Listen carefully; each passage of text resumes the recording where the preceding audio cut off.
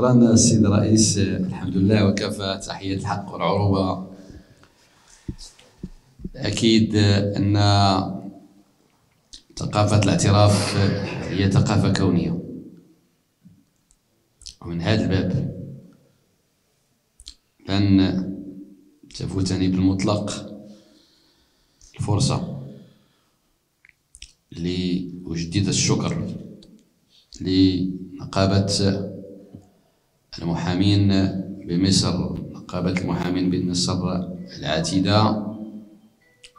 ولشخص سيد الرئيس نقيب الرمز أستاذ سميح عاشور على ما بذلته نقابة مصر طوال عقود مديدة.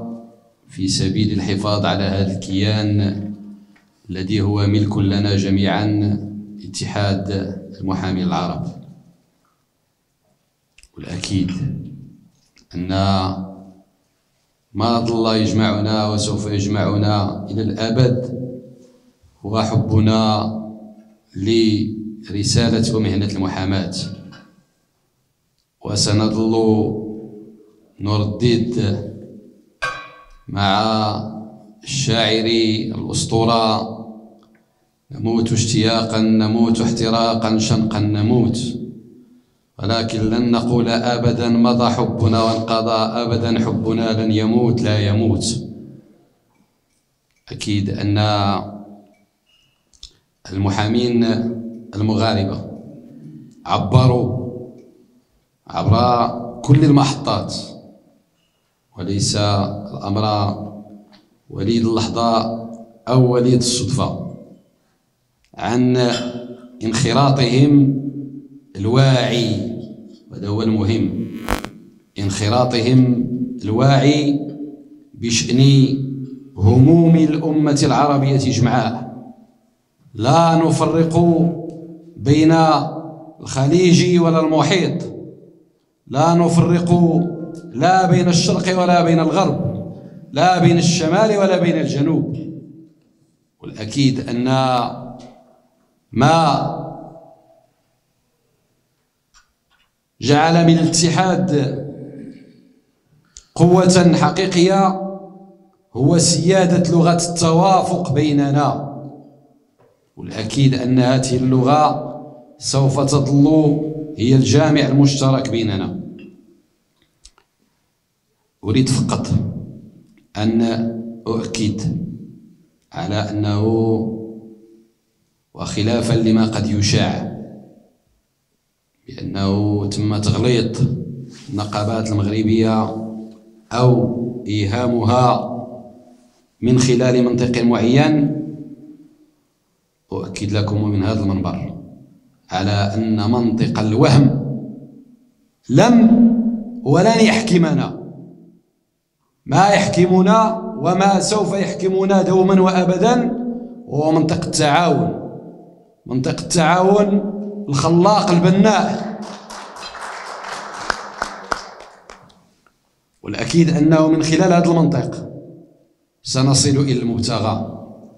المبتغى أن نرى من اتحادنا فعلا منظمة قوية لها حضور وازن ليس فقط على المستوى الإقليمي بل على المستوى الدولي. وأن يحسب لها ألف حساب وهو كذلك. يحسب لها فعلا ألف حساب. وسنظل سنظل متشبتين بأمل تحقيق حلم الوحدة العربية كما كانت في الخمسينات والستينات والسبعينات. أيضا عطفا على ما أشرتم إليه السيد الرئيس فيما يتعلق بتأبين من افتقدناهم من أمناء عامين سابقين وضرورة التوثيق والأرشفة في هذا الباب. أظن بأنه نتمن هذا الرأي فهو رأي سديد وأضيف فقط أنه ونحن مقبلون على محطة دورة الرباط أتقدم باقتراح بسيط. أن تتم دعوة عائلات المتوفون. العميد إلياس الكرغوري العميد العبلاوي عائلة الفقيد الذي افتدقنا فعلا لصوته الجوهري داخل هذه القاعة عائلة الأستاذ المحترم خالد أبو قريشة. الذي كنا نحس فعلا بأن غيرته على هذا الاتجاه هذا الاتجاه الذي يسير في حكم تطعيم بأحسن الكفاءات أقول باختصار أنه هذه المحطة نحن فعلا سعداء ب أيضا شكرا على التذكير. أيضا صابر عمار مرحوم صابر عمار. إذا في الخلاصة نحن سعداء بنجاح هذه المحطة وأملنا كل الأمل. على أن يلتئم الشمل بمحطة الرباط بدون استثناء وأن نطوي صفحة الماضي بكل إيجابيتها وبكل سلبياتها أملنا كل الأمل أن نرى اتحادنا برايته خفاقا في سماء الأمة العربية. مناصرا لكل قضاياها العادلة. مرة أخرى شكرا لنقابة مصر على الاستضافة وعلى حسن الاستقبال وعلى ما بذلتموه من مجهودات ظاهرة وخفية في سبيل إنشاء إنجاح هذه المحطة. شكرا مرة أخرى. معالي الأستاذ نقيب المحامين في مصر رئيس الاتحاد الأستاذ سامح عاشور معالي آه، آه، الأساتذة النقباء آه، الأساتذة الأمناء العامون المساعدون الزملاء أعضاء المكتب تحية الحق والعروبة أستاذ الرئيس أنا أشعر بأن انعقاد هذا المكتب كان نقلة نوعية فيما يتعلق بالعمل المؤسساتي في اتحاد المحامين العرب. آه الأداء، الالتزام، الطرح والحلول. آه لا أقصد تصحيح المسار وإنما أقصد بأنني شعرت بجدية كل من حضر آه، آه، لديه الغيرية على هذا الاتحاد بما طرح وبما قدم. طبعا تشكر أستاذ الرئيس تشكر يشكر أعضاء مجلس نقابة المحامين بمصر يشكر جميع أعضاء المكتب والأساتذة النقباء على الحضور لدي مقترح فيما يتعلق بالمكتب أو المؤتمر العام للاتحاد. طبعا نحن نأتي إلى المكتب الدائم ونريد أن نحقق فائدة أكثر فيما يتعلق بالحضور. هناك انقطاع بين المعلومات المعلومات القانونية في كل نقابة عن النقابة الأخرى. يعني أرى أن نجد شيء مشترك لتبادل هذه المعلومات. يعني عندما نحضر نحن من سوريا من نقابة المحامين في سوريا لا شيء يعيق أن نجلب معنا عدد بعدد النقابات من مجلة المحامون ونوزعها يعني لكل نقابة نسخة واحدة وهذا ليس بجهد. وأن تفعل باقي النقابات هذا الأمر لتبادل المعلومات التي نستفيد منها ونفيد. يعني أنا إذا جاءتني آه، مجلة المحامون أو أبحاث قانونية مميزة كانت فرضا في المغرب الشقيق أو كانت في العراق الشقيق أو في مصر أو في أي دولة عربية آه، فإنني أستفيد من الفكر القانوني الذي يطرح في هذه النقابة أو في هذا البلد والإجتهاد القضائي الذي يصدر عن محاكم هذا البلد. إذا ما كان هذا المقترح وتحت رعاية الاتحاد أو بمعرفة الاتحاد أو بتشجيع من الاتحاد وإذا ما لاقى القبول فإننا نحن في آه، الجمهورية العربية السورية في نقابة المحامين في سوريا على استعداد بأن نحضر إلى كل مكتب ينعقد نسخ بعدد أعضاء آه، بعدد آه، النقابات العضو في الاتحاد. وشكرا. بسم الله والحمد لله وتحية الحق والعروبة. الحقيقة كما شكرنا في بداية الجلسة الأمانة العامة بالأمس نقابة مصر على هذا الاستعداد فإننا نكرر الشكر لهذه النقابة والأخ سامح والشكر أيضا لأعضاء المكتب الذين خفوا سراعا آه، إلى الدعوة لهذا المكتب. لمعالجة قضيتين أساسيتين عاجلتين. وسعدت كثيرا بالحمد لله أن توصلنا في ظهيرة الأمس إلى مكتب دائم نحن الآن بين يدي البيان الختامي. نحن سعيدون جدا بالموقف الذي سمعناه من كل النقابات والنقباء ومن الاتحاد من قبل سعيدين بالموقف الذي سمعناه من الاتحاد من السيد رئيس الاتحاد كان سندا وعضدا للسودان جميعا. بس دار أقول كلمة بسيطة جدا أننا لسنا هنا فقط من أجل انتهاك حرمة هذه المهنة. نحن هنا فقط من أجل قضية كبيرة جدا من قضايا حقوق الإنسان. مهنتنا في السودان وحل النغابة لم يتم إلا في سياق قانون صنع خصيصا لحل النغابة وجاء فيه كما دار في الأمانة بالأمس نصين أو ثلاثة من النصوص من أفظع ما يكون انتهاكا لحرمة حقوق الإنسان واستغلال القضاء. قاض يمنع ويسلب بالقانون من سلطته في أن يعطي المتقاضي حقه. في الطلب الاحترازي. طلب احترازي عشان الحكم يبقى نافذ. ناهيك من أنه المحكوم له يستطيع أن ينفذه حتى يتصف بالصفة القانونية. اثنين المادة 8 اثنين من هذا القانون تمنع المحاكمة العادلة. المادة اثنين من القانون تمنع حق التقاضي. تتقاضى أمام حل نقابات السودان أمام لجنة من خمسة من التنفيذيين.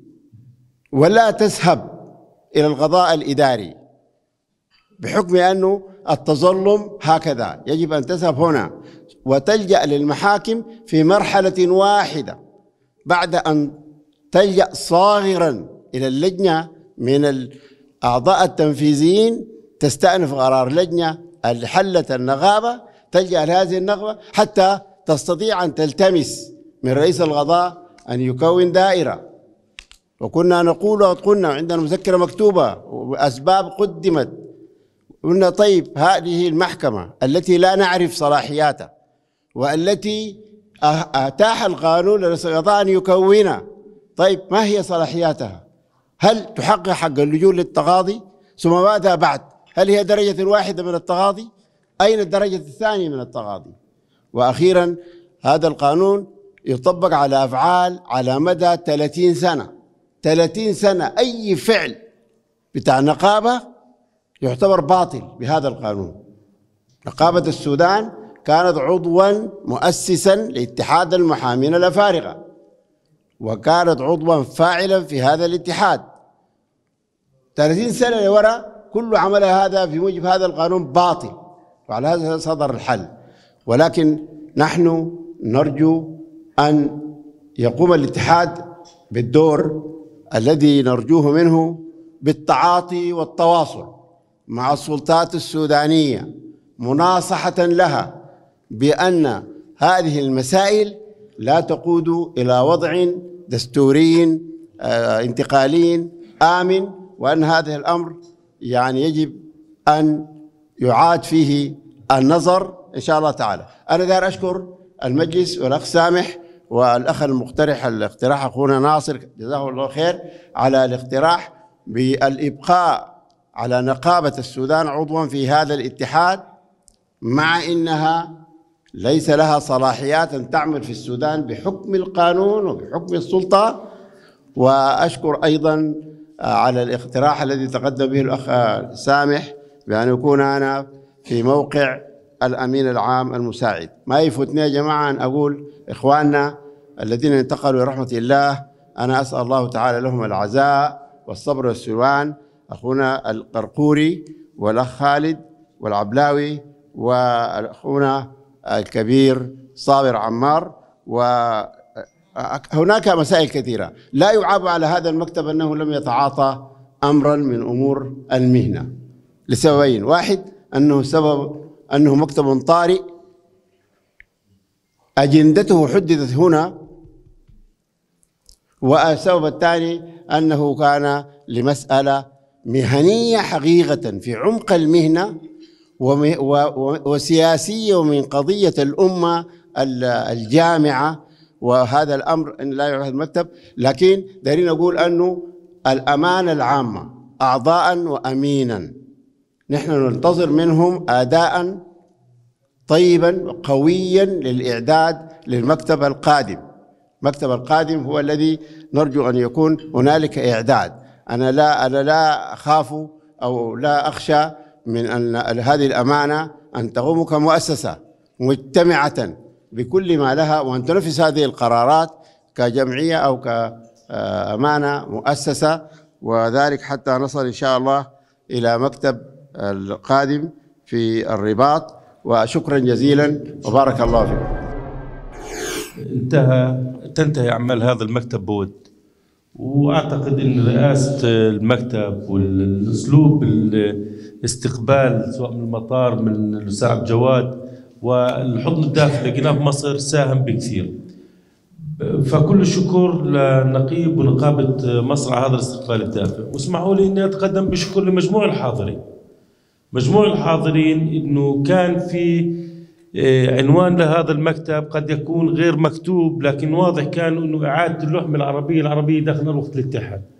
فبالتالي لولا أن كانت هناك أذهان متفتحة قادرة على هذا الفهم ولها الرغبه في تجاوز أي خلاف مصطنع ما كنا تجاوزنا هذا الموضوع. وأحب إني أخصص بالشكر إخوتنا المغاربة. يعني إخوتنا المغاربة كانوا إخوتنا المغاربه يمكن كانوا أكثر جهة يمارس عليها بعض الأخبار الغير صادقة بعض التفاصيل بديش أدخل فيها لكن واضح حبهم لأمتهم العربية قناعاتهم إنهم جزء من محامين عرب قناعتهم إنه لابد من إعادة الاتحاد المحامين العرب إلى مكانه كما كان وسيبقى بإذن الله بهمم الجميع فأعتقد إنه هذا المكتب كان مميز. ف قد تكون بداية التفاهم في عمان آه، يستكمل آه، في مصر وأتأمل أن تكون اللعبة العربية كاملة مكملة بإذن الله دون أي مشاكل ممن أيا كان. وعندنا قلب مفتوح نستقبل حتى الذي طغى أو أخطأ. ففي المغرب بإذن الله تكتمل اللحمة كل المحبة للجميع. شكرا لكم. شكرا على